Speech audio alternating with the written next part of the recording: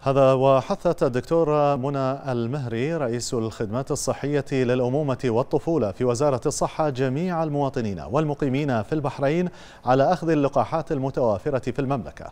وأكدت خلال اتصال هاتفي في نشرة سابقة أن جميع اللقاحات المجازة في مملكة البحرين فعالة وآمنة.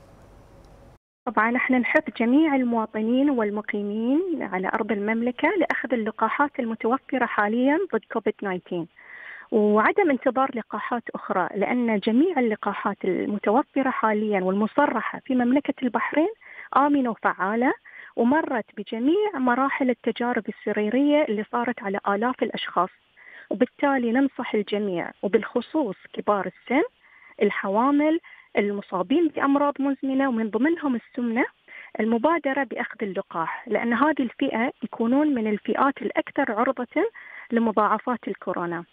وبأخذهم اللقاح يكون بالتالي حماية لهم ولأسرهم وللمجتمع.